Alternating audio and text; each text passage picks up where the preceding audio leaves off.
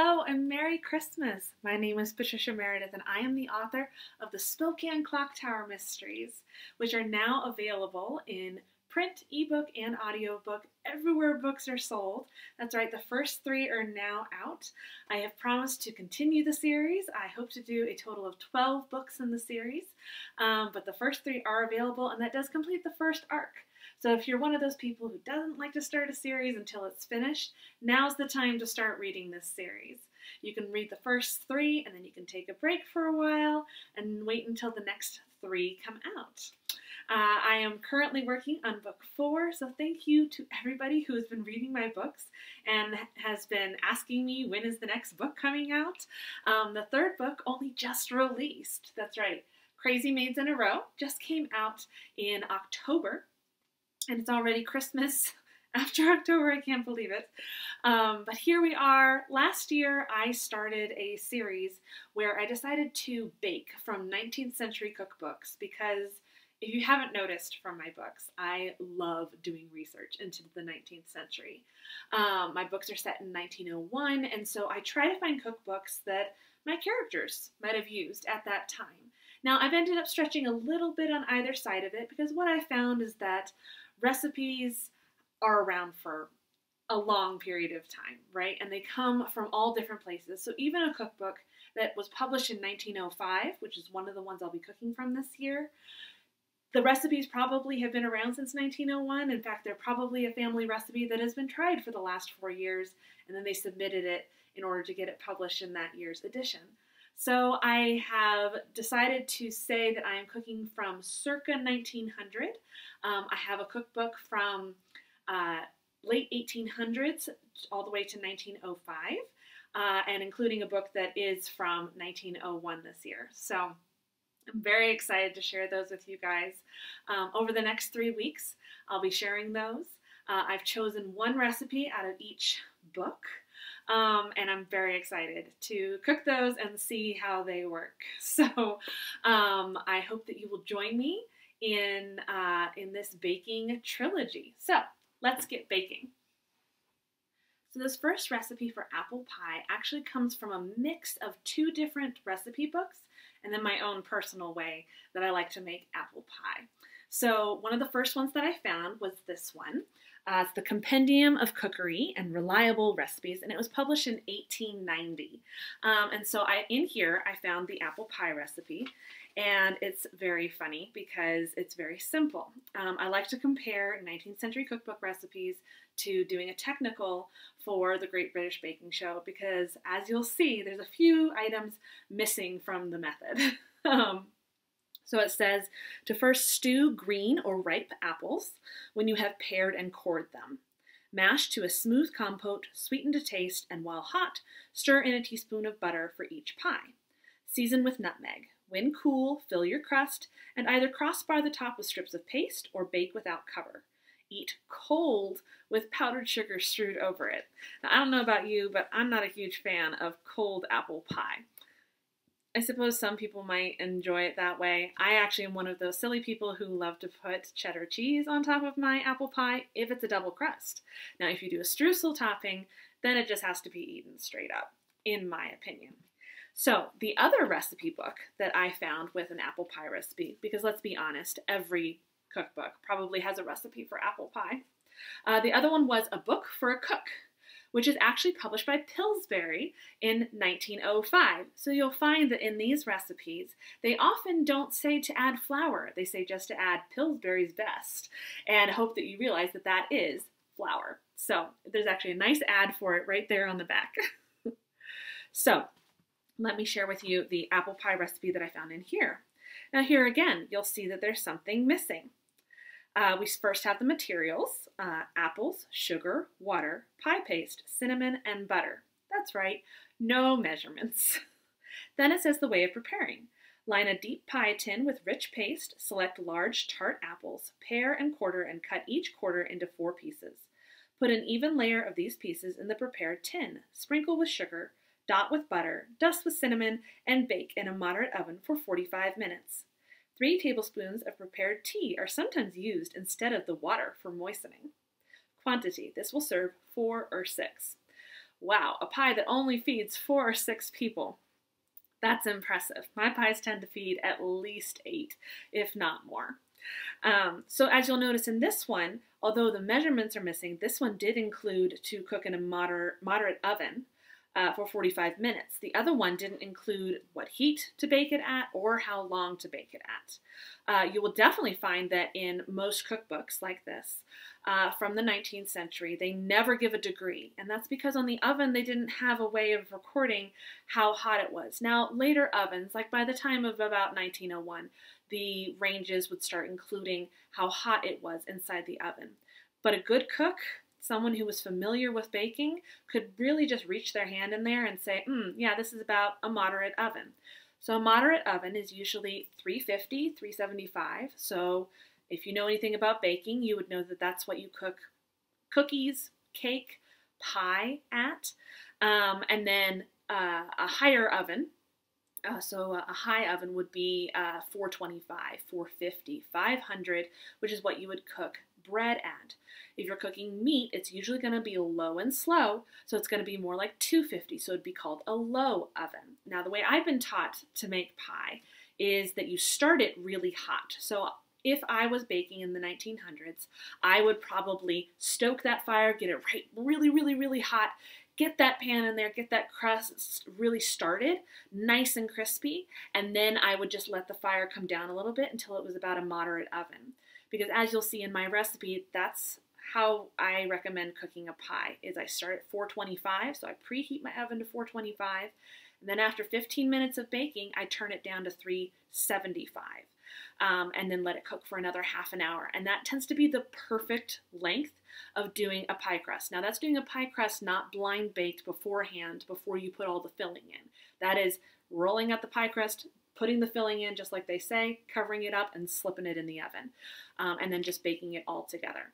So please come bake a pie with me. Let me walk you through the steps that I do normally and let's make this pie together.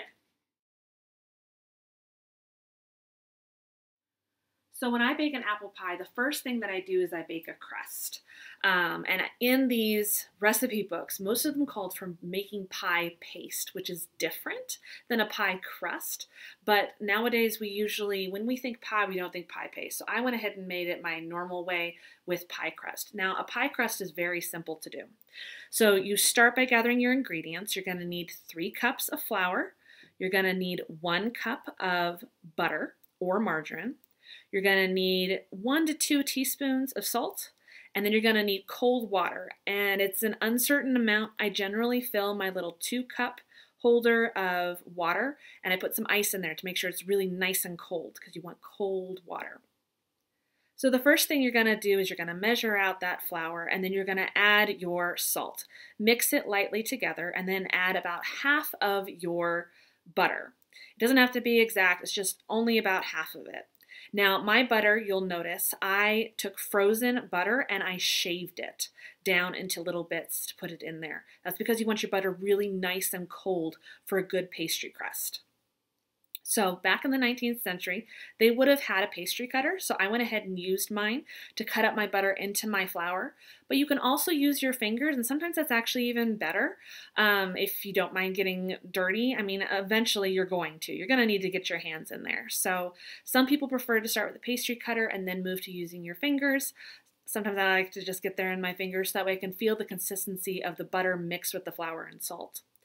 Um, so you're going to mix that in until it's about pea-sized little balls in your flour. Then you're going to add the rest of the butter, do it again, keep going until it's all mixed, all right? It's going to be really dry and crumbly. Then you start adding your water. Now you're going to add cold water a little bit at a time. That's because you don't know how much you need. Every time you make a, a pie crust, it's going to be different uh, because it depends on what the weather is like that day. It depends on how dry it is, how wet it is, right? Flour is a finicky beast. And so every time you bake with it, it's going to be different. So I would recommend getting your hands in there, getting the water in there. Sometimes the ice falls out of the thing. You just pick up the ice and put it back in the water. It doesn't matter because it's all going to mix together anyway, right? But you don't want chunks of ice in your in your pastry crust. So yes, pull the ice out. But Um, so you just keep going, keep going until it's the right consistency. Unfortunately, there's no measurements here. Baking a pie crust is very much by hand and by eye and by touch, right? And so you just got to feel it until it's about the right consistency. Um, look at the pictures and you'll see that um, it, it's once it comes together, right? You want it to come together, but you don't want it to still be wet and sticky, but you also don't want it to be too dry with flour, right? So you want it just enough that it can come together and you can make it into two balls. So you're gonna separate it into two balls, pack it together, and if it packs together nicely into two balls, you're at the right place. So then you're gonna put that pie crust into the fridge. Now you can make your filling. So according to the measurements and the ideas in the 19th century cookbooks, I decided to add cinnamon and nutmeg to my uh, to my apple pie mix. Uh, as you can see, I started with my apples. They were already cored and I didn't peel them actually because I like the skin on my apple. Uh, so it's up to you if you want to, you know, slice, dice, core, peel. So actually these are apples from our farm from before we moved. Um, so it was very tender to me making this pie this year um, because they are the last ones that I still had frozen. Um, I would cut up a bunch of apples and then I would freeze them in with the intention of making apple pie in the future. Now I like chunks of apple. You'll see that in one of the recipes. It suggested making basically an apple sauce to go into your apple pie. I think most people when they picture apple pie picture the slices. So grab your apples, your cinnamon, your nutmeg, and your sugar. You need about a third of a cup, maybe a quarter of a cup. It depends on how sweet you like your apple pie. So again, with baking, it's kind of all to taste. So, and as you saw in the recipe book, it didn't even include how much. So you're just gonna do, yep, that's about right for an apple pie. So mix all that together. Uh, you can use a wooden spoon or your hands. Again, you're going to get a little goopy, but this time you can actually taste it and it tastes really good. So, all right, so now you've got your pie crust, which is in the fridge, and you've got your filling. Now the pie crust needs to be left in the fridge for at least half an hour. So if it didn't take you half an hour to make the filling, leave it in there for at least half an hour because it needs to get nice and cold, nice and chilled. And again, that's in the fridge, not in the freezer. I don't recommend freezing it um, if you're going to immediately make the pie. Now, however, you can pre-make the pie crust and stick it in the freezer and pull it out when you need to make a pie. I would recommend letting it sit so it can get a little bit more malleable. Uh, I would not pull it immediately out of the freezer. In fact, you can't pull it out of the freezer and immediately turn it into a pie. So the next step is I sprinkle my workspace with some flour and I grab a rolling pin and I grab my pan that I'll be putting in the oven. At this point, I also preheat my oven to 425. So like I said before, this is how I get a nice, good, crispy crust on my crust without doing a blind bake, is I start my oven at 425. This works even for a stone. I don't use a heated stone when I bake my pies. I put it in cold, but it seems to work. I always end up with a non-soggy bottom for my pies. So there you go. So then I roll out the pie crust and it's okay if it flips over the edges. Go ahead and just press that into your pie pan. Dump your filling in, make sure it's even all the way across. Roll out your second ball of crust. Again, it's okay if it's a little uneven. The trick is it's going to be messy and then you take your scissors so that way you can get a nice clean cut around the edges of your pie crust. Then I fold over the edges and pinch them together in that way that my mom taught me.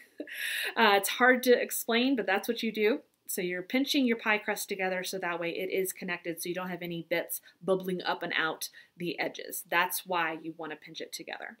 So then, this is another trick that I learned from my mother, is you add egg whites with water. So you're going to take an egg white, just the egg white out of an egg, and then put in just a little bit of water. And then you're going to brush that over the top of your crust. Now that is going to make your crust so good. It is what makes it look professional when it comes out of the oven. I promise you, even for a sweet pie, this is worth doing, okay? Then for a sweet pie, you can sprinkle uh, over it uh, cinnamon sugar if you want, or you can just leave it with the egg crust. When I make chicken pot pie, this is also what I do to the crust, and I don't put any sugar on it. So then, for fun, because I actually made this pie for Thanksgiving, um, I went ahead and cut out a turkey out of the middle of it. and you definitely want to either put slits in the middle of your pie or cut out a fun decoration right there. So that way uh, the, the heat can escape from inside of the pie. So I usually end up with some extra pie crust, and I do this on purpose because my kids love pie crust cookies. So pie crust cookies is something that I have always done when I bake pies, whether I'm making a savory pie or a sweet pie. What I do is I roll out the extra pie crust and then I cut it out just like you're making sugar cookies because they're gonna hold their shape, all right? And then you put them on a pan and you brush butter over them and then cinnamon sugar. Now, cinnamon sugar is something that I always have on hand because I'm a mom of two young kids. And so it's worth always having. And let's be honest, sometimes I like putting it in my coffee or in my tea. It adds a little zing to it. I love it. So, cinnamon sugar, there's no like definite ratio for it. It's just you take sugar and you add cinnamon sugar until it looks about right and shake it up. I definitely would start with less cinnamon sugar than more. Um, and then mix it up and see, you know, is that dark enough? Do you think that's going to be a good blend? Um, and then you can always add more cinnamon sugar. It's much harder to take the cinnamon out if you accidentally put in too much. But this is something that you could even have your kids do, have them join in the fun. So, like I said, butter, cinnamon sugar over the pie crust cookies. Pop them in the oven with your pie. They will cook great alongside your pie during the 425 degree time. Uh, it usually just takes that 15 minutes, and then when it you have to turn down your oven to 375, that's a good time to pull out your pie crust cookies. So just keep an eye on them. Sometimes they take longer. It depends on how your oven is feeling that day. All right, how did your pie turn out? Mine turned out great.